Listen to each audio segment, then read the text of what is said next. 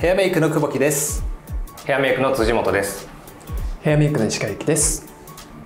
今回はプロ絶賛の2022年夏の新作限定も込みで、えーコスメをご紹介していきたいなと思います。そして皆さんお気づきかと思いますが本日初登場の辻本さんです。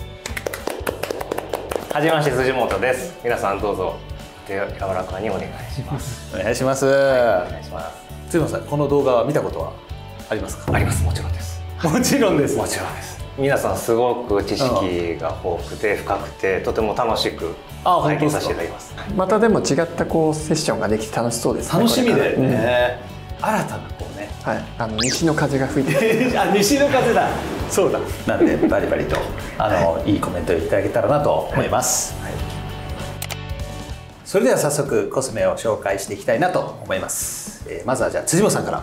はい。お願いします。えー、と僕はこちらです、えー、スックのシグニチャーカラーアイズ115ですこちらはですねあの4色パレットで、あと全部同系色のパレットになってますので、すごく非常に使いやすい、はい、あの難しい使い方はせずに簡単にいろんな仕上がりができるパレットになってます。でその中でもあのパールが入っているタイプのものおとう入ってないタイプがあるパレット。入ってないタイプがあることによって、うん。質感の違うニュアンスが出せるし確かに。あと一色でも今時な旬なメイクができるパレットになってるのかなと思ってます。なるほど、はい。えちなみにパールが入ってない色っていうのはどこになるんですか？えっと一番この右下にある締め色だ。はい、一番締め色締め色。タイプになってますね。夏感もありつつなんか絶妙にすっくらしいこの濁りというか、はい。くすみ感っていうのは使いやすいですよねきっとね。ね肌なじみが良さそうな色ばかりなので、あでもねこれ見た目よりも左下のこの色が結構ね綺麗に夏っぽく発色する。発色と質感とこのなんか粉落ちのしなさみたいなバランス感はやっぱり結構かなり高いレベルで。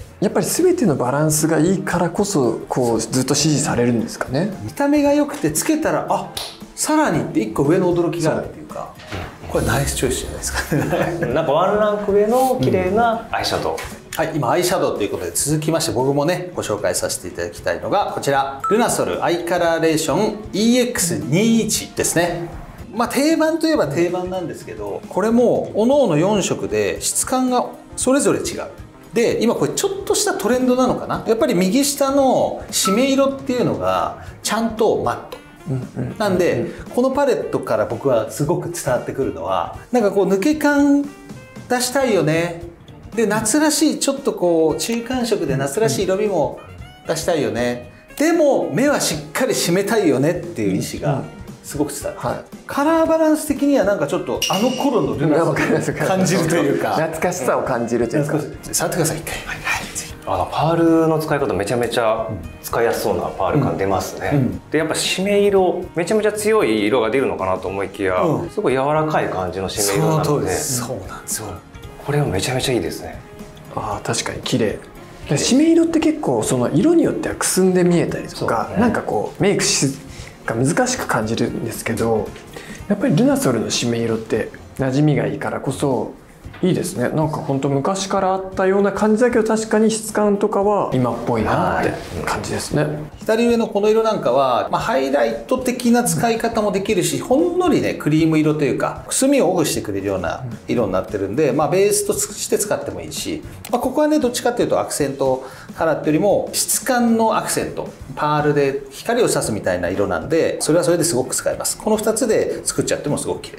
ただ夏なんでちょっと目元効かしたいなっていう時はやはりこのね、えー左下のこの色を二重幅とかにシュッと上げてもらうと結構色の主張はないんだけど存在感はある EA じ感がちゃんと出るつつ。そうですね。綺麗ですね本当に。はいじゃあ続きまして辻本さん。こちらのハイライトおすすめなんですけどアディクションのザ・グロースティックグロータイプ 0111G おうえー、とアディクションいろいろハイライトこれ出てるんですけど、うん。僕がおすすめしたいのはツヤが出るタイプでパール感がないタイプのハイライトになってます、ほギラギラしなくてとてもヘルシーな肌作りができるタイプになってます。で使い方はあの基本的には頬骨の、まあ、一番高いところにのせるんですけど、ここの頬骨の高いところにハイライトをのせると日常的な光ってもう太陽の光だったり電気の光であったり上からが多いと思うんですけど、そういった上からの光を自然にキャッチしてくれる部分なのでこの頬骨の上に。なるほどでなんかここがツヤっとしてたら顔動かした時にここが光るじゃないですか、はい。それだけであの人肌なんか綺麗ねって思えちゃうようなヘルシーな肌作りになると思います。はい。ヘルシーな肌作りだ。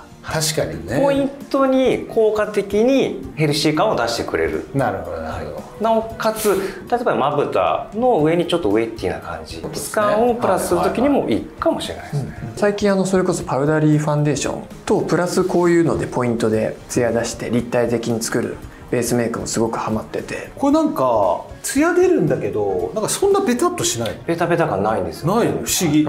使いやすいね。今までゴールドとか確かにシルバーって絶対結構マストなとこだったんですけど、逆にこれぐらい無色も使いやすいんだなって、続きまして私からはですね、えーチークです。スックのメルティングパウダーブラッシュの101ですね。どうですか？この色。いい色うん綺麗、でもどうどうやって使うんだろうって多分一般の人って思うんでしょうね。パッと見て夏って感じたんですよこれ。なんかこうオレンジでジューシーな感じで、久々になんかチークって最近ずっと主役じゃなかったじゃないですか、どっちかっていうとつなぎだったりハイライトチークみたいなポジションもできてきたりしてなんて言った時にチークっていうのが出てきたんでちょっとテンション上がっちゃったんですよねまあ、確かになんか主張がしっかりって感じ ですね。なんかこれ商品名にある通りこのメルティング。ニュアンスとしてはまあなんかちょっと溶け込むみたいな印象があるじゃないですか、メルティね。本当にこれパウダーなんですけど、これ溶け込むんですよ。うわ。でメルティングしてます。メルティングしてるでしょなんかすごい色の主張強いかなと思ってたんですけど本当に肌なじみむちゃむちゃいいですね。むちゃむちゃいいんですよ。でもこの色の発色すごい出てますね。そう。ね筆だと本当にこう自然ですね。あ本当だ。どこに塗ってんだろうって思うぐらいだけどちゃんといるみたいな感じで色なんですけどなんか今までのサイド高いオレンジうん。ってもっとなんかオレンジじゃないですか、うんでやっぱそこら辺にはやっぱスックイズムが入ってて、ほんのりなんかブラウンも混じってる気もするしそうですね。黄色みもちょっと混じってるっていうか、なんかこう複雑な色味が絡み合ってこれが出してるっていうところがやっぱりすごくスックらしいし、まあなんならちょっと上の世代ですね、40代。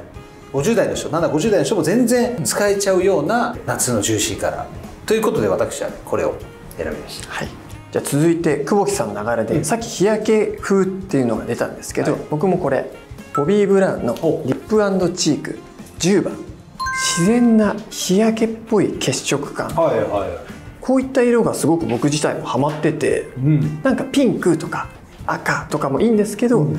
こういった色を使いこなすと、ああ、おしゃれです、はい、おしゃれですしなんかこう顔が起きてきません？肌こう陰影ができるので、だからこういう色がおすすめなんですけどしかもこれリップにも使えるっていうのでリップにも相性良さそうじゃないですか。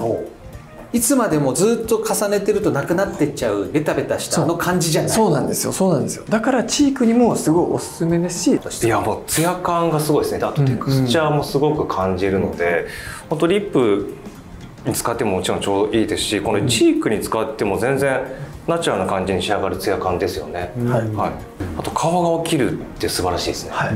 顔が起きて顔が起きる、はい。今日のパワーワード出ました。顔が起きる。このチークで。これ使うタイミングとしては、はい、マルチに使えると思うんですけど僕個人はこれやった後にパウダリーを重ねて徐々にこう内から出てく感じが好きなので、はい、ただ割としっとりしてるので皆様が使うんであればあのメイクの最後にリップの後にプラスチークを余ったやつで塗ってあげるでもいいんじゃないかなって気もします。はい。で続けて僕のターン。これもリップチークになるんですけど、まあ僕が好きなジルスチュアートなんですけど、はい。これも色味がおすすめで102番。ほもうさっきと言ってること全然違うじゃんって感じなんですけど真紫青みをそう感じるように見えます。アジサイみたいな色本当に。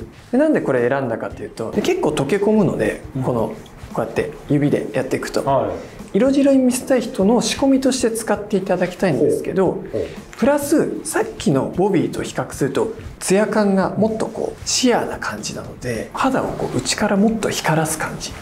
水光肌とかちょっと韓国の女優さんみたいな色白の肌を作りたい時とかにはい。これを仕込みで使っていただきたいな。っていうので、あ結構ルミナス寄りなんですね。パールが入ってんだ、そうなんですよ。うん。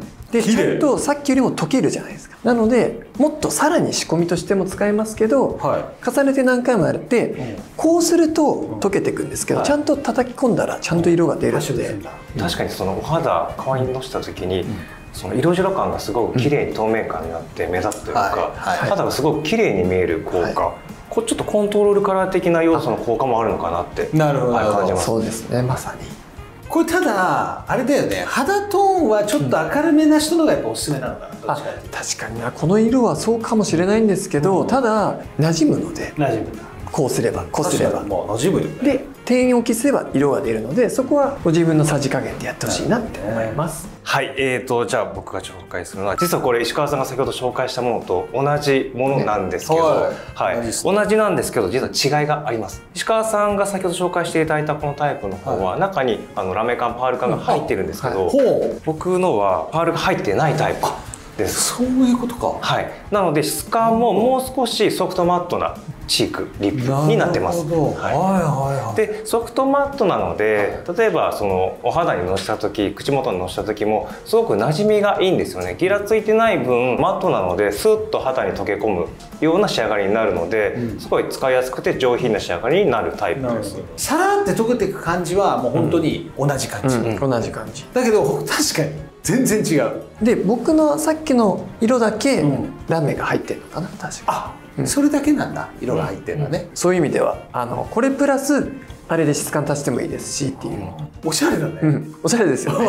てかこの色がおしゃれですね。この色がおしゃれ。07番？これはなんかリップに使いたくなる感じ、リップに使いたくなる、まさにおっしゃる通りです。でもサイドがこう高すぎないから全然大人の人も使いやすいし、ちょっと上品な感じに仕上がりますよね、はい続きまして私はこちら、えー、ナーズのアフターグローリップシャインの02474まあ僕タイトルタイトルっていうか商品名からそのものの質感をこう連想するのすごい好きで。アフターグローですよ。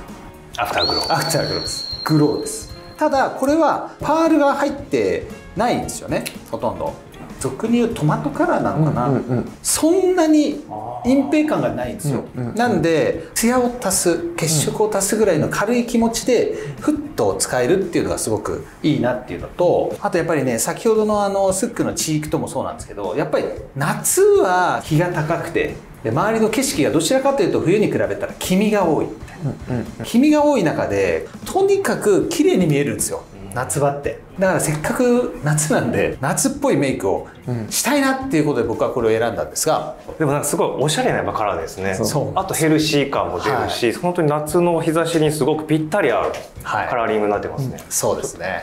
なんかテクスチャーもすごい重たすぎず、う軽すぎず、うん。うんそうなんですよ。絶妙なテクスチャー感出てますね、はい。いいね。これ。ベタっとした重さがないです、でもこれぐらい伸ばしてちょっと透けた感じでも素敵ですね。そう。なんこうですいうなんでちょちょっとつけてパでもいいし、そうですね結構しっかり塗るとそれそれなりに結構主張も出てくるんで、結構バッて最初塗った時にあ色強いなと思ったんですけど、僕には。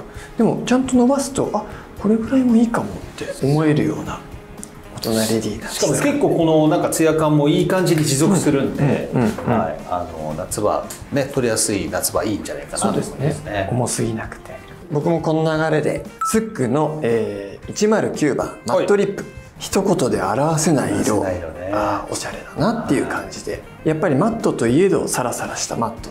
でやっぱりスックって感じの色なんですけどなんかこう伸ばすと黄色感が強くなりますし点で置くとちょっとオレンジが強くなるっていうので、すごくやっぱりあ上手だなって。そっかさっきの僕がご紹介させていただいたチークに今こう見てて似てるなそうー色似ってますよね。スックだね。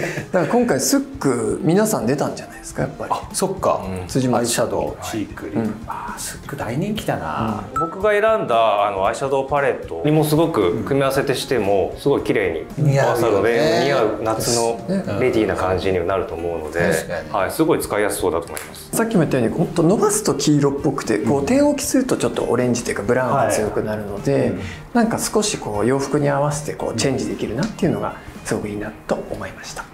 ということで私たちおすすめのですね2022年夏の、えー新作限定コスメのご紹介、えーしてきましたけどもどうでした？いやみんなみんなの見てみて、確かに。その夏限定夏の商品だけあって本当に夏に合うぴったしの商品がすごいたくさん出てきてて、はい。本当楽しめる商品たくさんあるのかなって思いました。確かに、はい。石川さんはどうでしょう？今日は。でも基本的に比較的その使いやすい色が多かったですね、うん。あとはそのオレンジが主役になれるっていうのがすごくなんかワクワクするなって思いましたし、はい。あとすごい西の風も心地よかったですよ。すごいとても。後ろができてました？こっちからはい、来て、来てました。心地よかったです。ねねイントネーションバンバン関西弁で来てもらっても全然ね。はい。いいと思います、はい、ありがとうございます。はい。皆さんぜひ、えー参考にしてくださると嬉しいです。また私たちの、えーメイクコスメの、えー質問等がですね、えーあればどしどしコメント欄ですねはいいただければぜひとも参考にさせていただきたいなと思います。ではまた次回さよなら。